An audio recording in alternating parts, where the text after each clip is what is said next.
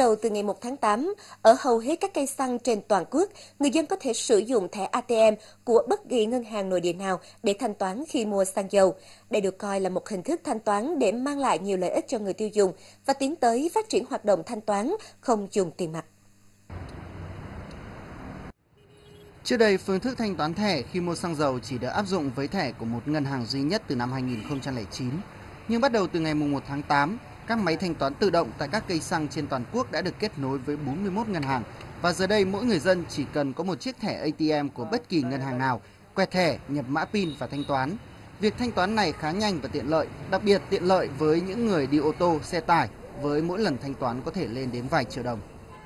An toàn và mình ờ, biết được rằng cái số tiền của mình chi ra là bao nhiêu, nó có giấy có tờ, à, có cái ờ, mã số đầy đủ của người quản lý cho mình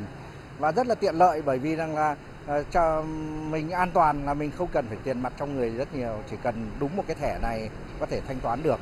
Tôi ờ, đang dùng ờ, thẻ của ngân hàng Vietcombank và Vietinbank thế thì cái việc mà mà thông qua hệ thống ngân hàng cũng các thẻ của ngân hàng để mà thanh toán tiền xăng thì thứ nhất là minh bạch, thứ hai nữa là thuận lợi trong cái cái việc mà mua mua mua xăng hàng ngày trong ngày đầu tiên triển khai, cửa hàng này cũng đã đón nhận bước đầu khá nhiều khách hàng sử dụng thanh toán liên ngân hàng khi mua xăng. Trong tương lai, phương thức thanh toán mới này sẽ mở đường cho việc triển khai các cây xăng tự động, khách hàng tự giao dịch, tự bơm xăng.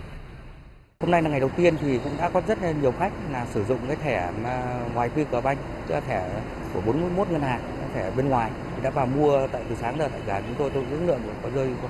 tầm à, ba bốn mươi thẻ. Tôi cũng kỳ vọng đây là một phương thức à, khách hàng sẽ ủng hộ ờ, lâu dài. Được tập trung chủ yếu trong thời gian tới, tức là sẽ mở nhiều hơn nữa những cái cửa hàng bán tự động đối với khách hàng là ờ, sử dụng cái mua xăng dầu cho ô tô và hiện tại bây giờ từ, tại ờ, thành Hà Nội thì chúng tôi đã có trên 10 điểm bán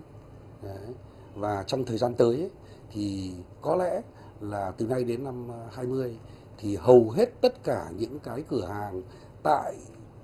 thành phố lớn như Hà Nội Ờ, Hồ Chí Minh, ờ, Đà Nẵng, Hải Phòng, Huế thì sẽ trên 50% cái lượng cửa hàng nó sẽ có đảm bảo được những cái uh, là những cái nơi bán tự động. Theo báo cáo 6 tháng đầu năm 2017 của Ủy ban An toàn giao thông quốc gia, hiện Việt Nam có hơn 3,1 triệu xe ô tô và hơn 48,3 triệu xe mô tô đang lưu hành. Và chỉ cần mỗi người, mỗi phương tiện có nhận thức tốt hơn về thanh toán thẻ và những lợi ích của nó, thì việc hướng tới một nền kinh tế phi tiền mặt với các phương thức thanh toán tiên tiến là hoàn toàn khả thi.